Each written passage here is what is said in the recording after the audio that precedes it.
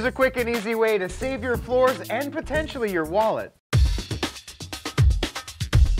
Hi guys, I'm Randy, and today on BRS TV How To, we're installing a float valve on our RODI water storage containers so they'll automatically shut off when they're full. When I got my first RODI unit, I couldn't tell you how many times I flooded the basement floor until I finally got a float valve.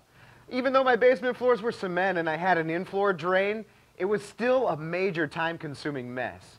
Many reefers don't have this luxury of a cement floor or a drain, which is why a $15 investment in a float valve seems like a no-brainer. My favorite part is now I can walk away while making RODI water without having to set timers or worry about overfilling. These things can last many years without too much maintenance, and I've personally never seen one fail. Not only that, but installation for both the fixed and adjustable float valves only require a drill and a half inch bit. For nearly all of my installs, the fixed float valve is the way to go. Although the adjustable float valve allows you to fine tune the water level, it does leave the door open for a possible failure point if the wing nut loosens. As I mentioned earlier, all we really need is a drill and a half inch drill bit for the installation hole. I also find that a small crescent wrench can be helpful when tightening a couple of those fittings. So with that, let's get to installing one. In order for the float valves to function properly, they must be installed horizontally so that the water level can push the float upward and close the valve. As you can see, I leave enough room at the top of my container for the flange to create a watertight seal on all sides. I like to mark the top and the bottom of the float onto the side of my container to help guide me while I drill the installation hole.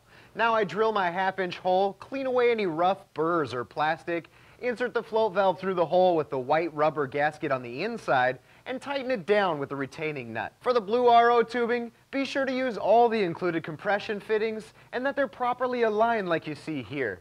Making sure you install these fittings correctly will prevent leaks from any of these connections. There's no difference for the installation of the adjustable float valve, but just keep in mind that the water level will be different than the fixed, depending on where you set the float. And don't forget to tighten down that wing nut. And with that, we're done. Well, guys, that wraps up this installation. If you have more questions, please don't keep them to yourselves because that's what this team of reefers lives for. Give us a call or email, and if you need your answer in the next 60 seconds, hit us up with a chat. See you in the next episode of BRS TV.